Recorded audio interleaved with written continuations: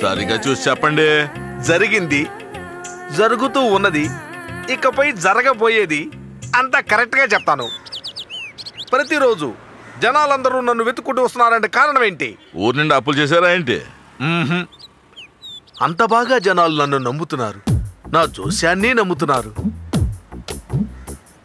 నేనేం చెప్తున్నానంటే పర్వాలేదు కంగారు పడద్దు. ఇదంతా శని దశ పూర్తయ్యే వరకే. వచ్చే ఏడో తారీఖు నుంచి బుధమహర్ దశ ప్రారంభం కాబోతోంది.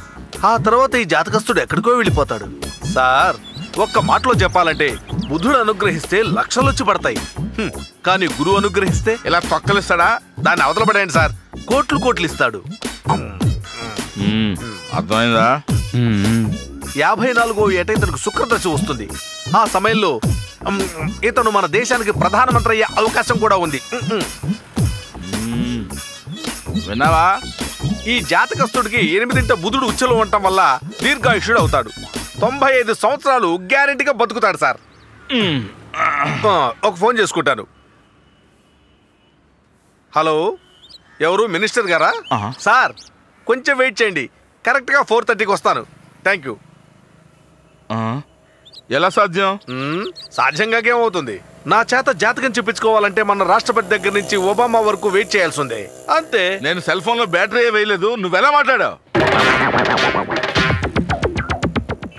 వేయలేదా? వేయలేదు. నిజంగా వేయలేదా? వేయలేదు.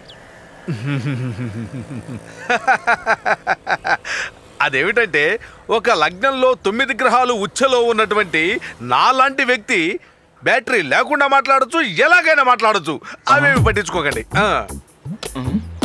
తెలిసిందా? ఏంటి అప్పుడప్పుడు మీ అబ్బాయిని చూసి తెలిసిందా అర్థమైందా అని అడుగుతున్నారు? తర్వాత చెప్తాను. మీరు మిగతా చెప్పండి. ఈ జాతకస్తుడు యాభై నాలుగేళ్ళు వచ్చేసరికి ఈ ప్రపంచాన్నే మహారాజులా ఏలుతాడు. ఇతనికి కోటాను కోట్ల డబ్బేంటి భవంతులేంటి మర్యాదలేంటి? చివరిదాకా అంత వైభవంగా బతుకుతాడు. అలాగా.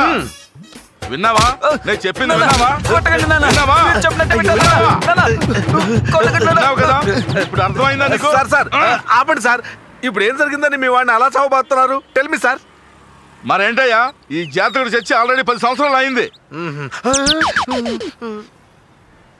నువ్వు ఒక ఫ్రాడ్ అని నమ్మొద్దు నమ్మొద్దు అని వీడికి ఎన్నోసార్లు చెప్పాను. కానీ వీడు నా మాట వినకుండా నీ చేతే జోసి చెప్పించుకుంటానంటున్నాడు అందుకే నిన్ను నేను టెస్ట్ చేశాను.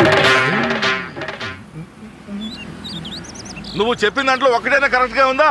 ఈ జాతకుడు ఎలా చచ్చాడో తెలుసా నీకు? ఊరి నిండా అప్పులు చేసి ఆఖరికి వీధులంటే ఆడుకుంటూ కుక్క చావు చచ్చాడయ్యా. వాడి జాతకం చూసి వాడిది దీర్ఘాయుషు కోటీశ్వరుడు అవుతాడో చెప్తావా?